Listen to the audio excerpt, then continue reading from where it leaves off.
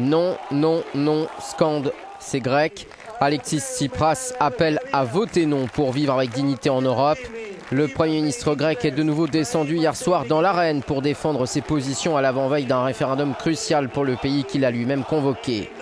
Devant 25 000 personnes amassées place Syntagma devant le Parlement à Athènes, il a tenté de galvaniser ses compatriotes. Nous prenons, dit-il, notre vie entre nos mains. Nous donnons la parole au peuple. La Grèce est un pays fier. Nous allons avoir un avenir.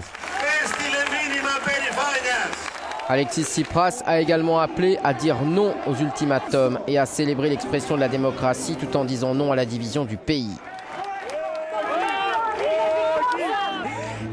Nos créanciers, Merkel, Dieselblum et Juncker, nous montrent du doigt. Ils sont incapables de reconnaître leur erreur sur la Grèce.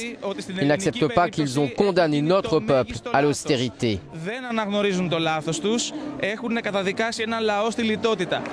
Pour la première fois, un sondage de l'Institut Alco a donné l'avantage au oui, crédité de 44,8% des voix, contre 43,4% pour le non, mais l'écart est serré, les jeux sont loin d'être faits. Un non dimanche ne signifie pas un non à l'euro, ni un non à l'Europe, affirme le Premier ministre Tsipras. Il demande aux Grecs de voter en ayant à l'esprit l'avenir du pays, et que dès lundi, de nouvelles négociations commenceront, explique notre correspondant Apostolos Taïkos.